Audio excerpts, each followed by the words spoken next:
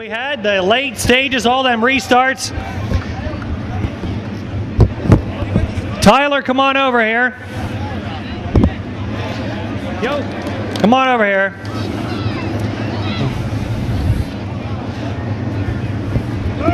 Wild in action at the conclusion of this one.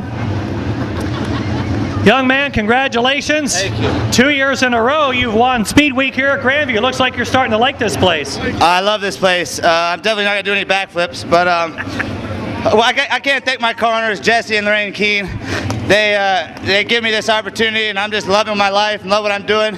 All my guys on my crew: Jonesy, Jonesy's Custom Cycle, Drive Ink Tattoo, Keen Trucking, uh, Pickles, Brandon, of course my crew chief Kirk DeWeese.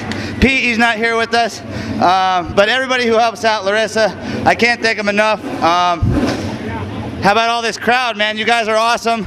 Even if you boo me, I don't care. Keep booing. That means we're doing something right. So uh, I love it here, and you guys have fun. Hey, tell us about uh, what was this little thing after the checker here? Oh, isn't it where I'm supposed to park? Yeah, but somebody helped you. Yeah, no, he was trying to give me a good thumbs up, and uh, I was looking over here, and I, okay, well, I'm stopping here, I guess.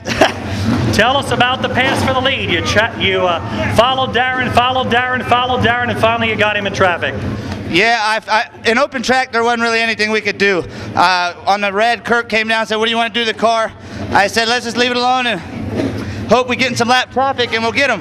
And uh, lap traffic kind of fell our way and we had an opportunity and we got it. So uh, I, I just love this little racetrack and um, what else can I say? Thanks.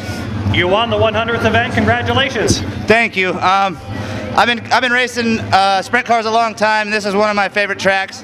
It's just racy and, and fun, and I don't know. I like it a lot. So uh, we'll we'll be back for uh, for another victory. And uh, like I said, I can't thank my corners, Jesse and Lorraine Keene.